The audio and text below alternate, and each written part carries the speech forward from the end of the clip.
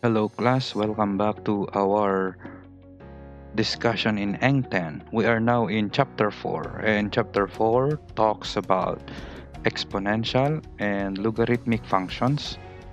So we are going to talk each of these functions. Uh, for this video, I am going to talk about the basic of exponential function. More specifically, we're going to define exponential function and practice our skill in identifying exponential functions. Okay?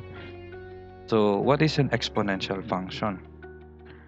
For any real number x, an exponential function is a function with the form f of x is equal to a b raised to x where a is a non-zero real number called the initial value and b is any positive real number such that b is not equal to 1 okay so we have two parameters here a and b. This a here is the initial value. Okay and b is the base of this one okay? So only b is raised to x okay? So x is our uh, independent variable in this case. So our independent variable is now in the exponent. Okay? So an exponential function is a function where the independent variable is on the exponent. Take note here that a should be a real number. So it can be positive, it can be negative. But b, on the other hand, is only uh, restricted to positive real numbers okay? So it cannot be negative number. Okay so there are two cases here. When b is between uh, between 0 and 1 and when b is greater than 1 okay so examples of the uh, values of b between 0 and 1 are fractions okay? When your base is a fraction okay? So we have a we have a decay okay? So we have an exponential decay.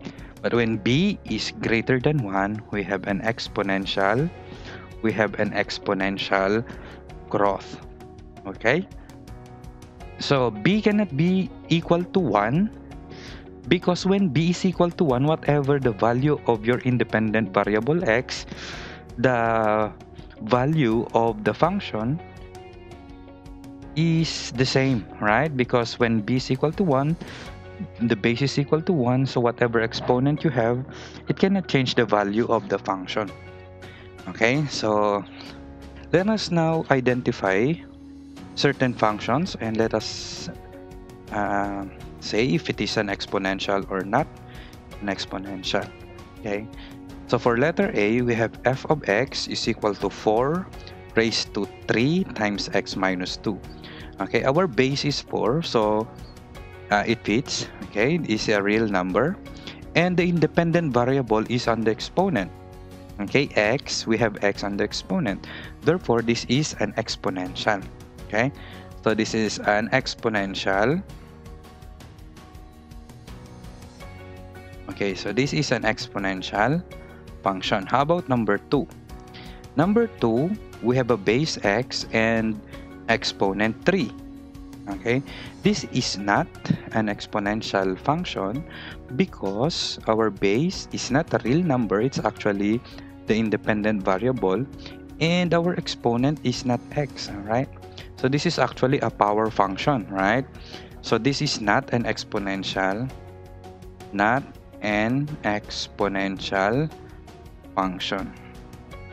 Okay? For letter C, h of x equals 1 third x. Our base is 1 third.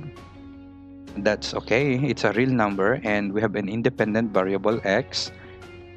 That's also okay because uh, an exponential function has an independent variable in the exponent. So this is an exponential.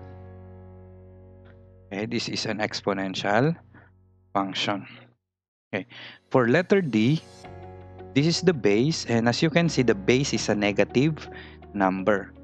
Remember, we have restricted our base to be a positive real number. So, this is not an exponential, not an exponential function. Okay, so that's how you determine or identify functions if they are exponential or not. Okay?